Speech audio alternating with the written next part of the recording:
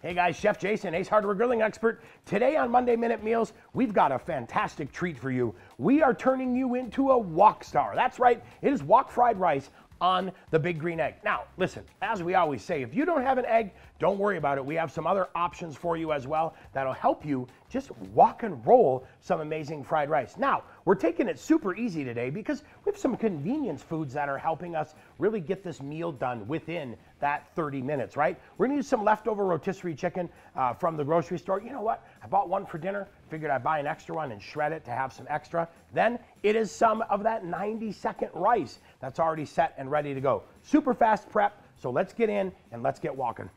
All right, like I said, we have that leftover rotisserie chicken. So what I'll do is go ahead and pull the skin off. Uh, hey, you can add the skin in there if you want, not a big deal. Now, the cool part is I'm gonna start here on the breast meat and uh, separate that off from the chicken, and then we'll go ahead and get that shredded. Now, I'm just gonna pull these apart in some little strips, right? Get that all set and ready to go. And now I'll work through this entire chicken, get everything done, uh, get the dark meat as well. Then we'll be finished. We'll move on to veggie prep. All right, so we're starting off with some of those sugar snap peas, and we move over here into those beautiful carrot coins. Now, sweet red bell pepper to just give us some sweetness. We've got a nice yellow onion as well. Then we move into that 90 second rice. We're just using some convenient stuff today. We're gonna season it with a little bit of that tiki tiki rub, giving it a Hawaiian flair. And then because we're barbecue dudes, we're adding some barbecue sauce as well. Now, we're gonna repurpose that rotisserie chicken because we wanna use that extra chicken we have. We're gonna finish it with a little bit of chicken stock, a little bit of sweet soy sauce, and finally garnish it with some green onions.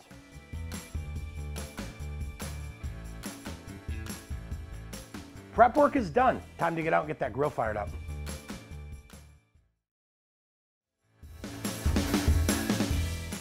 So the best part about the wok is we're gonna add the lower expander ring, which is really gonna hold that wok in place. So we'll get that set. We've got a nice hot ember pile. Now, we're gonna show you how we adjust the top and the bottom, drive it to that 450 degrees, hold it, time to wok and roll.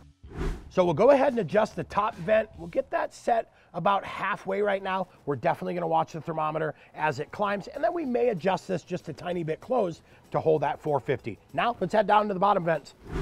So we've got the bottom screen closed and now what I'll do is go ahead, adjust this about halfway shut with the flap. Now, I'm gonna leave this as it is and I'm really gonna fine tune it with the micro adjustments up at the top regulator. All right, we are hovering right about that 450 degrees. We've got the ring in. I'm gonna go ahead and add the wok. I wanna preheat that wok because I'll tell you what, the hot wok really just drives some beauty in those vegetables. Now, probably gonna bring out a little table here, set up a nice little wok station, but we'll get it all set so that we can rock through this, get it done super fast because we're eating in under 30 minutes. All right, it is time to get this stuff fired up. We're gonna add about four tablespoons of oil to the wok. The wok is preheated now. I'm gonna add my peppers. Oh, listen to that.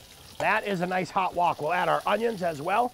Now, we're gonna go ahead and wok fry these guys a little bit, get a little bit of heat. One of the things to remember too, this wok has got a nice big bowl, so as we get in here and add that chicken, you can now bring it up to the side and keep it hot, retain that moisture. I am cooking with the big green egg wide open because I want to keep that heat driving nice and strong.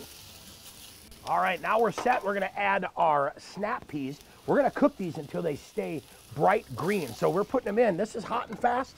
We're gonna add those carrot coins. Those will do their perfect job as well. And look at that, that rotisserie chicken, boom, we are done. Now, same thing again here. Stir fry this up.